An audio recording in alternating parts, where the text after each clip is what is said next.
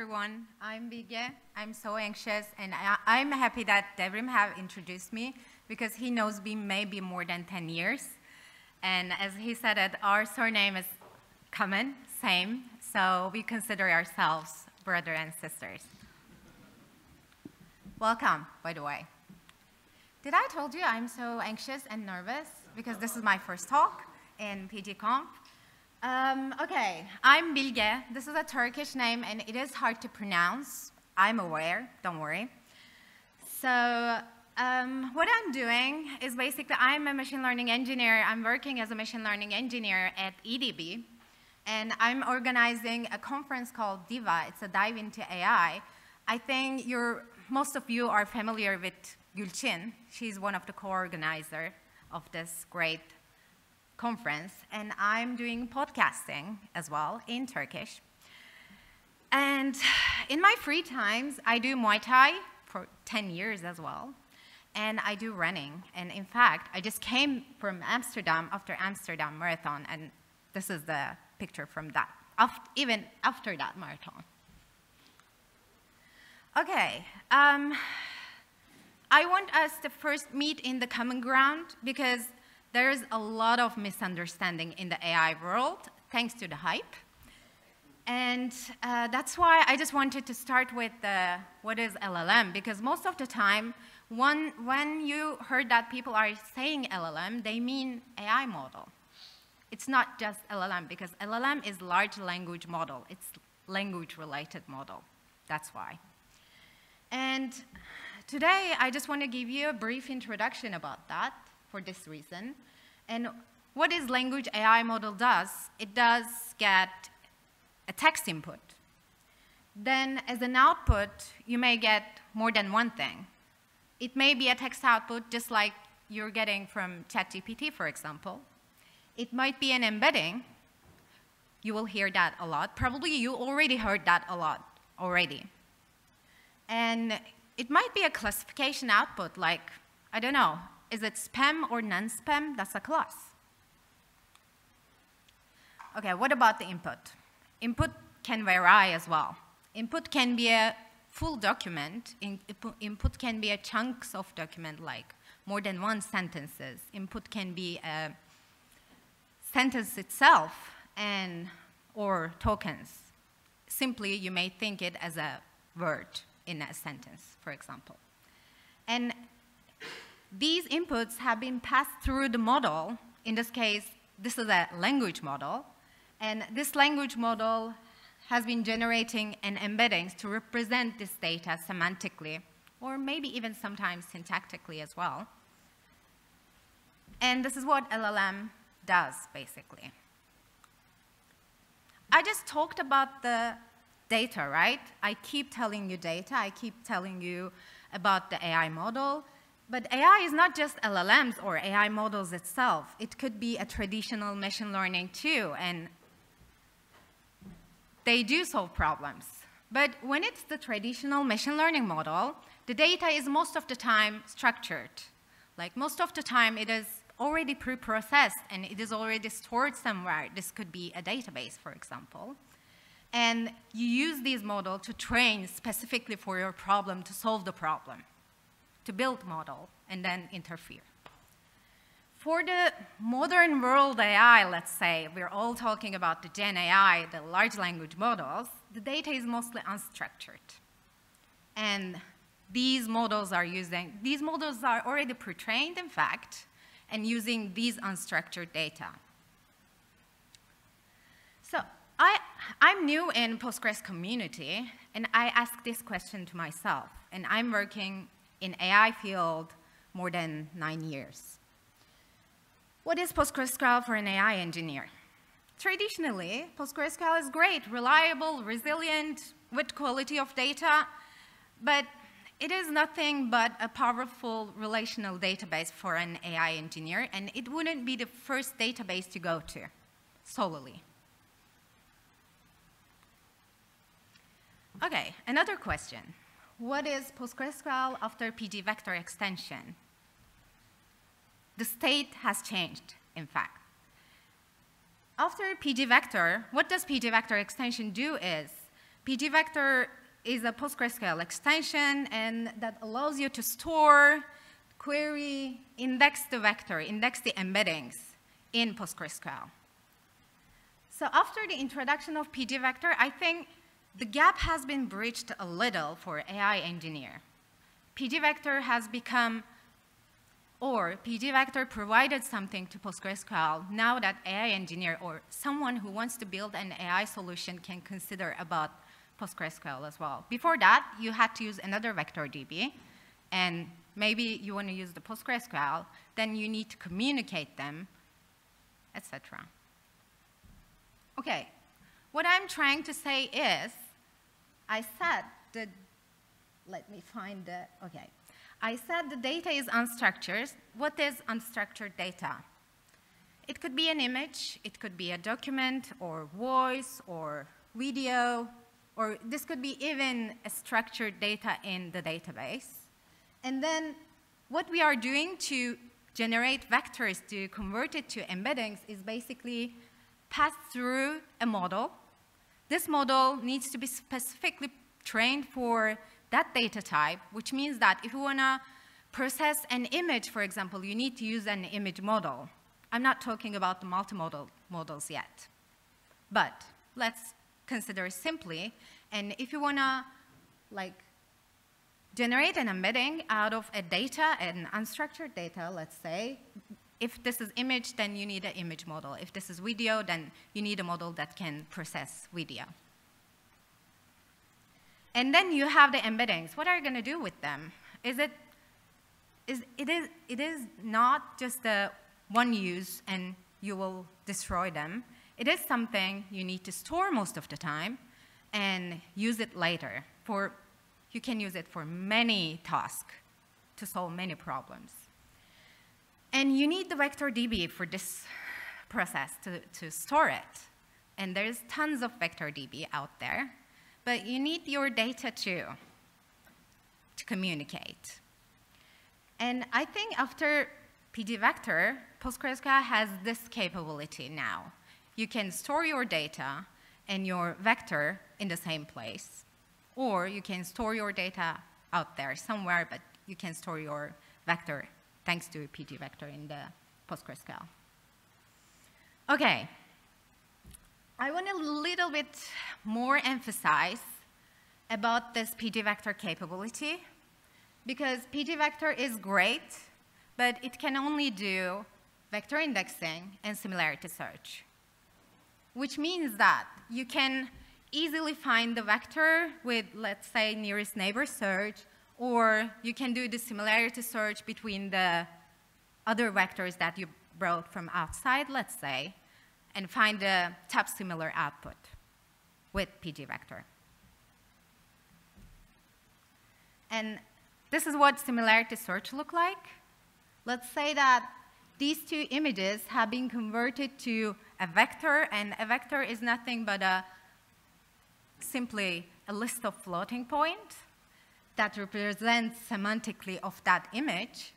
And then that image, if you want to do this semantic search or similarity search between these two images, you can use PG vector to do that.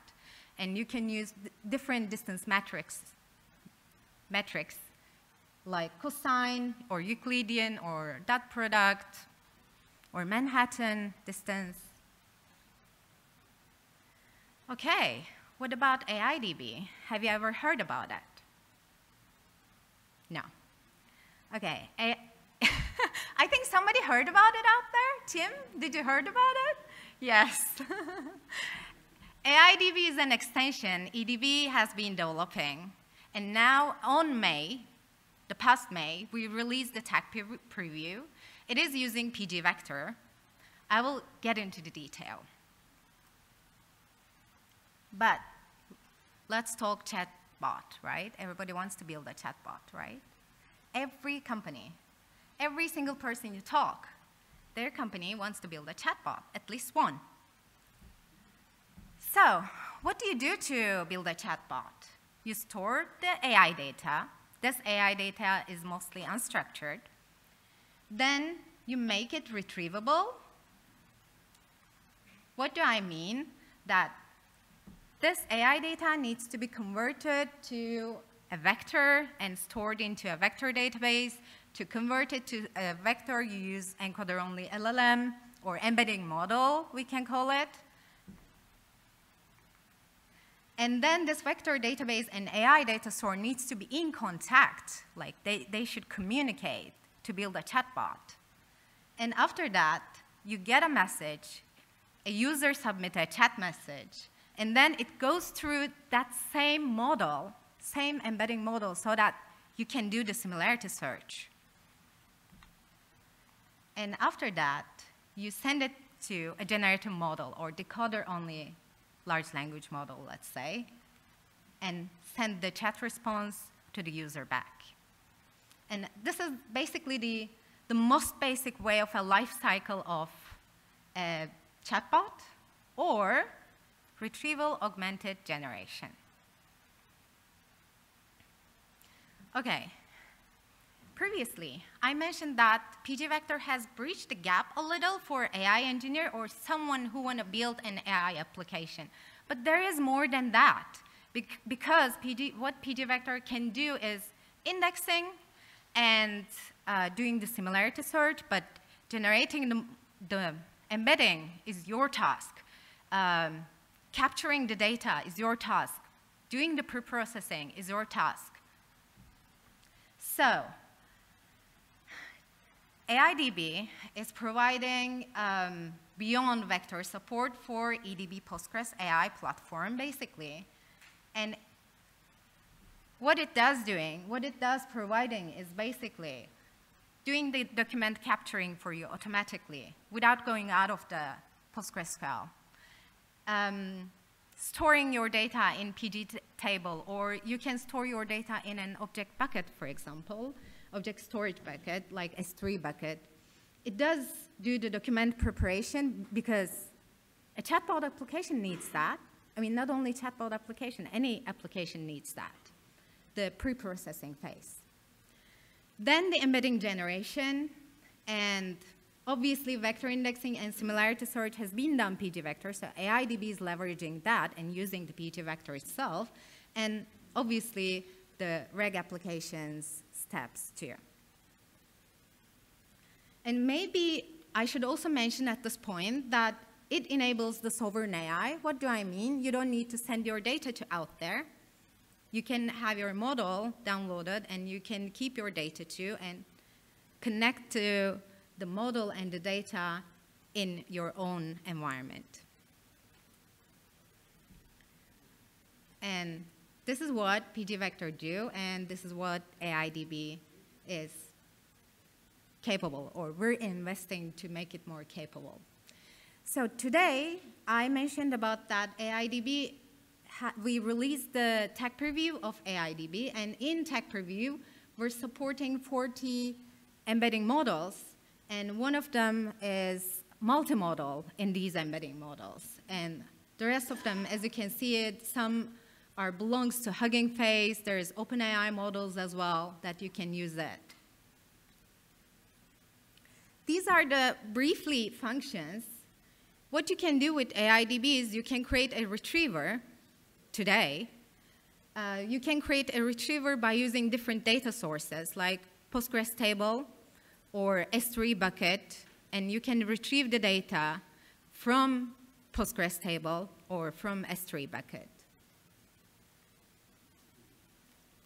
Oh, I also forgot to mention that there's also obviously embedding functions as well. You can use it for text embedding or image embedding too. Okay. I want to explain a bit more detailedly what is the use case of the PG vector, how it makes your life easier as well, and AIDB too. So the use case of ours is a recommendation engine in this case. I can see a familiar faces. Yesterday we had a workshop, and in this workshop, people have developed that recommendation engine together with us using AIDB. So how do you implement this recommendation engine with pgvector.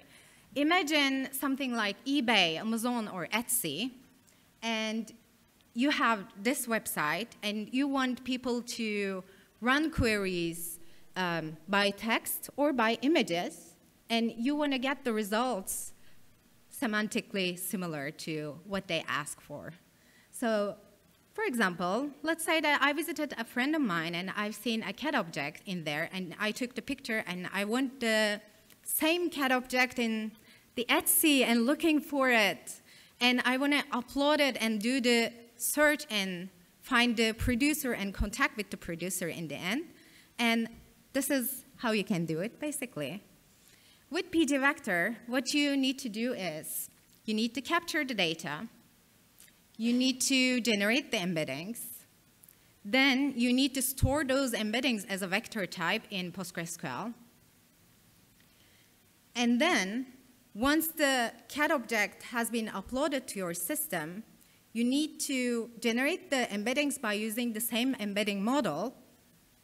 Then you can use PG vector to do the comparison, to do the search, similarity search, to broad out the top output. How you can do it with AIDB, and this is the answer. So it looks like a magic. I will get into the detail again. But what you, what you are doing with AIDB is that you're providing the input, and AIDB handles the input, generates the embedding, stores the embedding into an internal embedding table where you can see and control. And then once the new input data came into the system by uploading, for example, then AIDB again generates the embedding and does the similarity search and brought the outcome to the user. And this is how does it look like from inside of this magical box. So let's talk about this magical box inside of the magical box. Okay, first, the initial phase the pre-processing phase, let's say. You have your images in the object storage, and what AIDB does, connects to that object storage and fetches the images. Then, with your selected AI model, I have just shown you, there are 40 different models that you can use in AIDB. So with, with the selected AI models, AIDB connects to that model, downloads the model, and then generates the embedding, stores those embedding into PostgreSQL using pgvector, obviously. And, and then the initial part is over, the process, pre-processing part, let's say. Then I'm going to the user part here. We were discussing previously these area. Now, when the user visited your website, either does the query text search, types the search like, I don't know, um, pink t-shirt or black t-shirt, or uploads the image. The image, remember the image of the cat object, for example. And then what AIDB does, connects with the AI model, and it does automatically because it knows which model that you already introduced with the, while you're creating the retriever. So automatically it goes to the same AI model and asks for the embedding, and then goes to the semantic, I can't, see it. It goes to the semantic search service, but I can't see it. It is next to the DB, and semantic search service connects with the database and does the similarity search and brought the top K outcome, whatever it is. It could be 10, it could be 20, it could be 5. And displays to the user. So I want to do a quick real life demo, actually. It was video. I'm not a lucky person, so Let's see.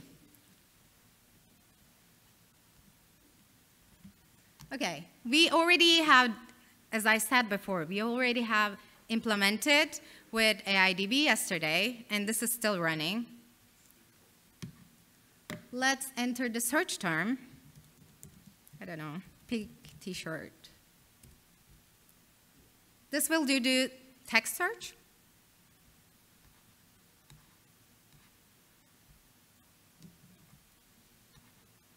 And it brought the output of the text search, pink t-shirt, because it does doing the search semantically. Let's say, I don't know, shoe.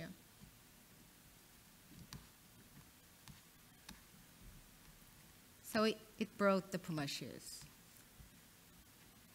We used, it, maybe I should also mention which model we used in this case. It's a clip model, it's a multimodal, which means that this multimodal model can process two types of data. Clip belongs to OpenAI, and this clip model can process text and generates text embedding, can also process images and generates image embedding. So you can use single model for two different thing, two different process. And I, I keep mentioning about the reverse search, right? Image search. Let's try that. Okay. First, I just want to show you that I have just downloaded this from the website. And this is here. And now let's do the search with image. This is the image that I have downloaded, and these are the outputs. I asked for the top five, that's why we have top five. And as you can see, there's nothing is saying that this is Puma shoe, nothing. And the outputs are already Puma. Okay, I'm going back to my presentation because let's talk further. At the beginning, I mentioned that this is possible with pgvector. It's not that you can't implement the same thing with pgvector. It does that AIDB simplifies every, everything without compromising the functionality. This is how you can implement the loading phase, the initial phase, the pre-processing phase that I have mentioned before. In this phase, what, the, what we are doing, we're selecting, we're basically loading clip model and then creating the table with the necessary data type and the vector size. And then we're processing each input, sending to the model, getting the embedding output. In this case, you're, if you're using clip model, you should know that how you're going to use it. We're asking for the image embeddings, for example, at the end as, a, as an output. Okay, now it works. Here. Then transforming it, then storing it into as a, as a vector and uh, also other details. Okay, this is 130 lines of code. And as you can see, some of them aren't in PostgreSQL or aren't in SQL. Some of them are with Python, but it could be other programming languages too. And this is what you get with AIDB. Two lines of code. And you can run this through um, psql Terminal, for example. You don't have to go out of the SQL to run AIDB. You can stay in SQL terminal that you're using. And all you have to do is create retriever first. Since this is the S3, since our images is in S3 bucket. This is create S3 retriever. And what you need to provide is basically the retriever name, the schema, the data type, the model name. Okay, here's the model name, here's the data type. If this is an S3 bucket, then yeah, you should provide the bucket name. If this is not a public S3 bucket, you don't need to provide S3 endpoint in here. And then this is the like metadata phase, let's say. And then once you call the refresh retriever, it fetches the all images from the given S3 bucket in the create retriever phase, generates embedding automatically, creates an embedding table, and stores the embeddings inside that table. And that's it. Same thing. Oops, I'm going to go back. Same thing, two lines of code. And it is simple, as you can see, but we, we don't compromise from any functionality.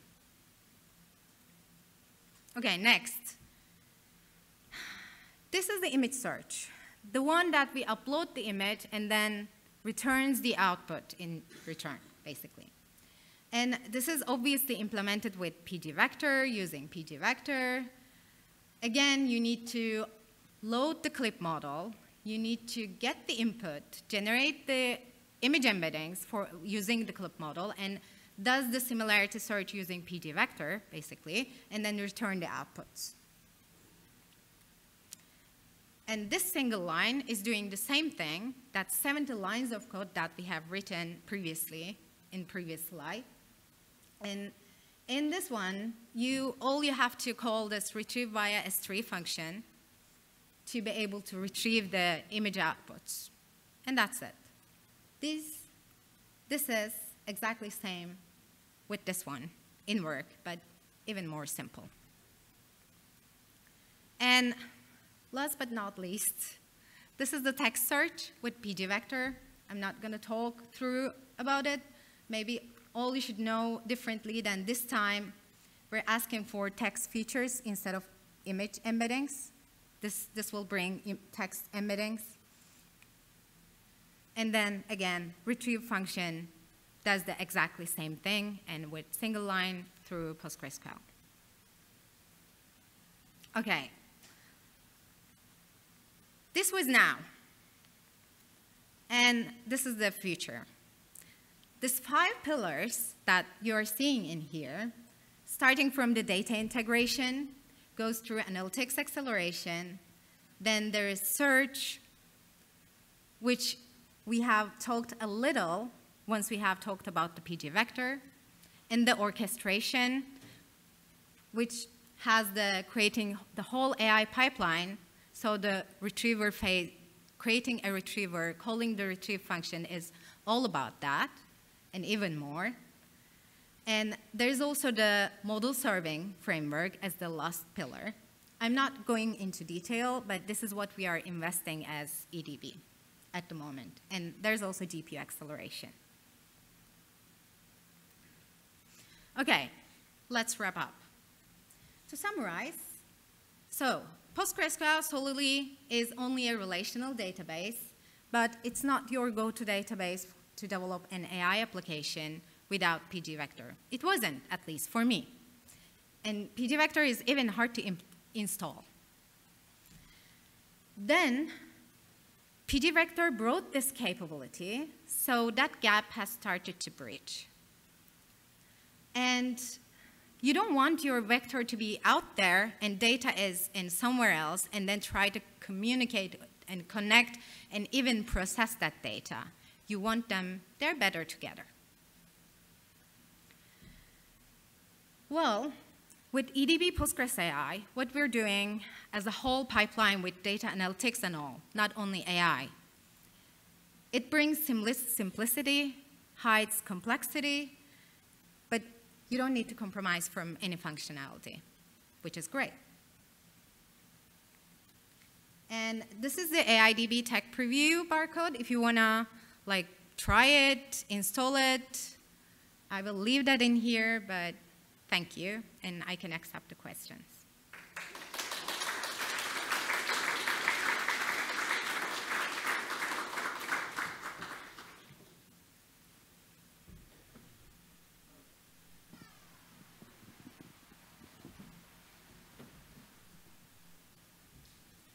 Thank you. Thank you very much, Bilge. That was lovely, really. Um, I have a question about the searches that you presented to mm -hmm. us. In relation to when you search the pink shirt, then somehow the system understood and it went back and brought some images. So uh, where is that decision making done? Is the AIDB deciding, okay, this is a text, I need to somehow model it as an image embedding, or how does this work?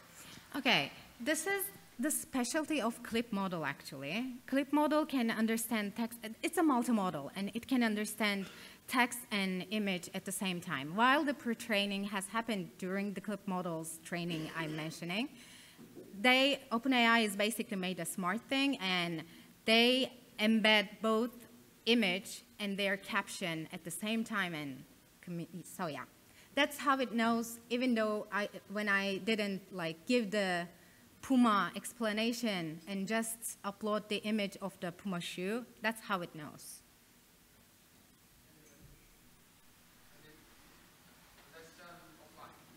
Sorry?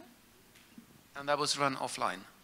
Or, is, or do you connect to Is OpenAI? it, is it run um, Offline? offline? Yeah, I mean, Yes. self-contained. Yes.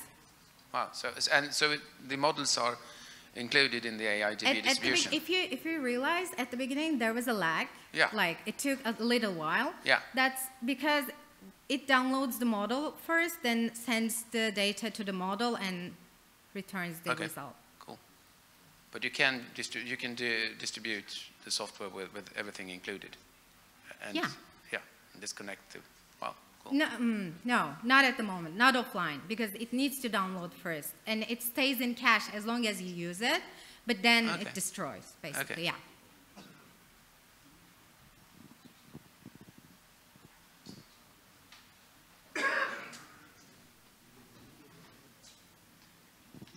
Thank you. I have a question about performance.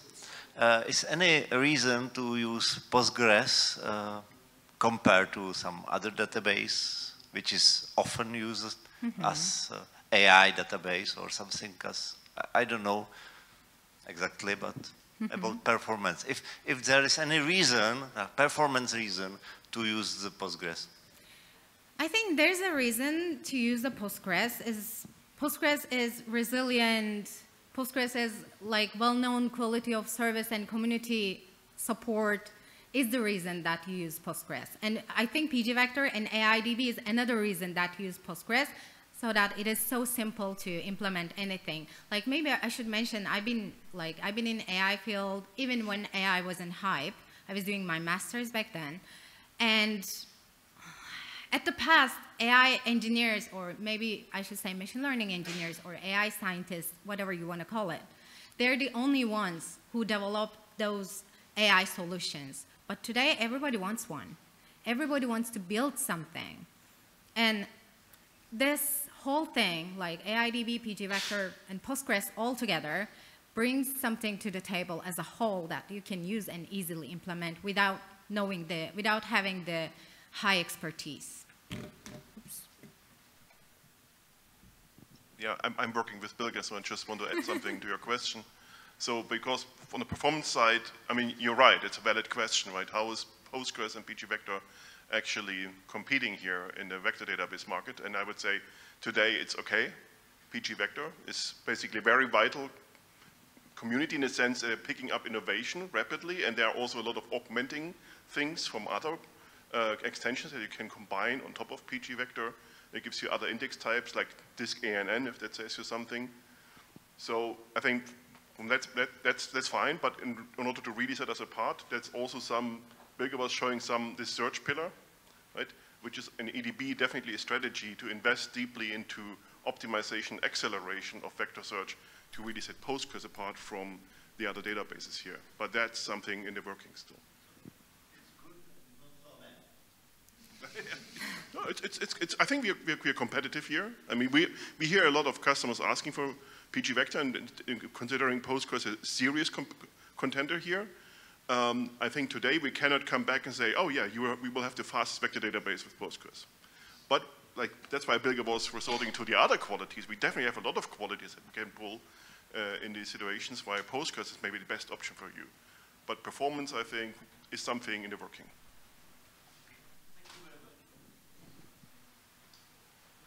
Any other question?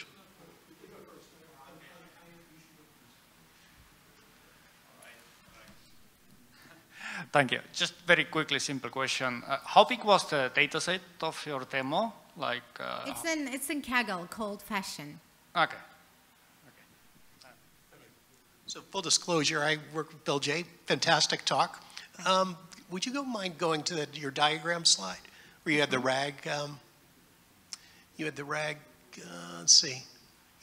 Where was it? It was the the big the Yeah. big blocks way back. Uh, I will. This okay. one. So I, I I'm being a, a noob. So does the chat message go with the embedding over the decoder LLM? No. okay, um, just just the vector that you retrieve. No, not the vector, but the text goes to. Okay, maybe I should talk a little bit more. Okay. What is happening in this RAG application is that you have the embeddings, mm-hmm. and it's like a guidance for the generative model that you are sending. When, once the chat message has been submitted, you go, you convert this into embedding and do the search pretty quickly and semantically so that you can have the, I don't know, precise, maybe close to precise, because nothing is 100% precise in AI world, close to precise output or at least semantically close AI output. And then you need the um, source data as well to send it to generative model because generative model expects text. Okay, so in this case, you have the, uh, the embeddings you retrieve from your local database together with the source of the chat message? Absolutely. Okay, got it. Thank you. Any other question? Any other questions? Uh, okay, so uh, if you go with your uh, future timeline, uh, Which one? future timeline uh, slide that you had.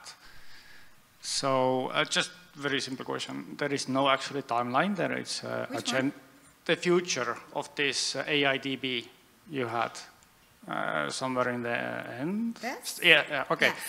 So um, I know you cannot like give the dates, but uh, w- when we could actually expect then the GPU acceleration support on, of AIDB, because it's uh, it's nice one to five, but uh, is there any kind of like timeline hint? Torsten, would you like to answer this question?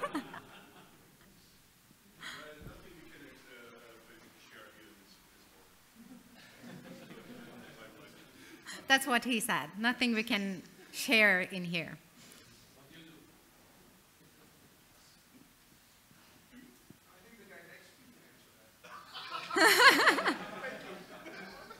Jess. So we are, um, hi, I'm Jess. Uh, I uh, run the engineering team. So when you get into dates, you're always into the, the territory that everyone really wants to know whether uh, what the dates are. So th- this is uh, what I would call an unprioritized list, right? What we want to give is a feel and an understanding of where we're headed, and we can prioritize accordingly, right? So GPU acceleration, for instance, very high on the list. That's something that we're really looking into. That's something we want to get after quickly. So any feedback we can get as to what's important is super useful. So I'm, I'm not turning the question back on you or doing anything political like that, but that's the situation we're in, right? We're all trying to explore this arena of AI and its wonders that go with it, and, and this is you know our stint on that. So great question. I can't give any details right now. Thank you. I, I I would even add, I mean, the, the fact that you asked for GPU, right? That's also feedback, right? And it's not the first time we hear that when we show that chart, that this is the first thing that people are asking for. So that's basically also why we're sharing it. So your reaction and also after the talk, come to us what you think, what you want to see, where you see the most critical need. That's definitely feedback we want to fold into our priorities. And Jess will just deliver. Yes.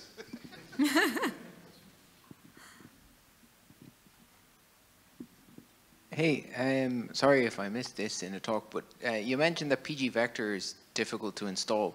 With AIDB, do you need to install PG Vector first, or does AIDB with, do with, that the, for with you? the tech preview, you don't.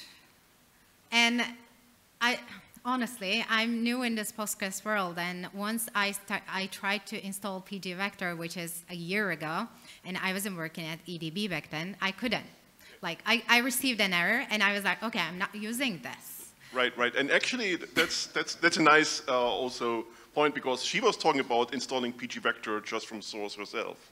Well, one reason to go with a commercial vendor like EDB, it's just in all of our products. But you don't have to compile it or so. You just get it, we, we, uh, and you just at most select, yes, I want to have this extension, and then it's enabled.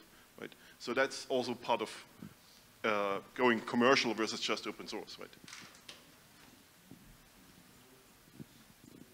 Any other questions? There's one back there.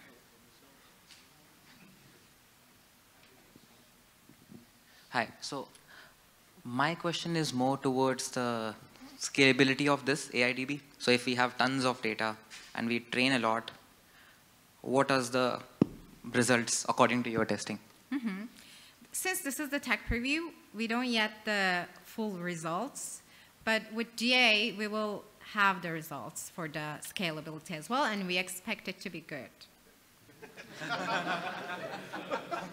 I mean, let me No out- pressure, Yeah. Tim. It, it depends a little bit what, what elements you now having in mind, what you want to scale, right? If, if basically you want to scale, let's say, the amount of embeddings that, that you need to compute, and, and uh, that's part of the serving pillar, right? That's exactly why we're also investing in a, a, a scalable way to host these models, so we can pump through a lot of data in, a- in, a, in, in, a, fashion. And that's, that's basically some different problem than running SQLs. Right? That, for instance, might need GPUs.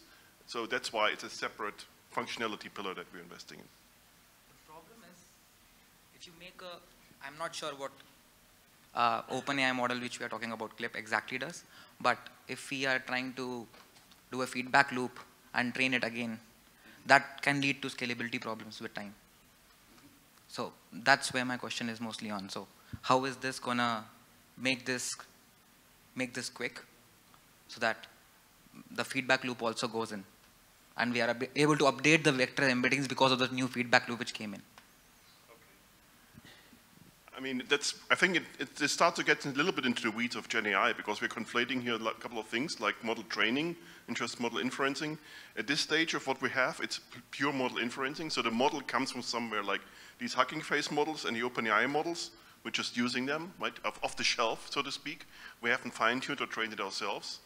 Um, and that's actually a stage that we even haven't put on here on, on, on it yet, basically help the users to also bring their own models, deploy their own models, or maybe even fine-tune their own models based on their own data. That's a whole new dimension that also matters in the Gen AI world, but frankly, we are not, we haven't wrapped our head around it, how we basically would approach and prioritize it versus the basic thing, just use models that are already there and apply them basically at scale. Any other questions? No? Thanks, Bilge, for an excellent session. Thank you.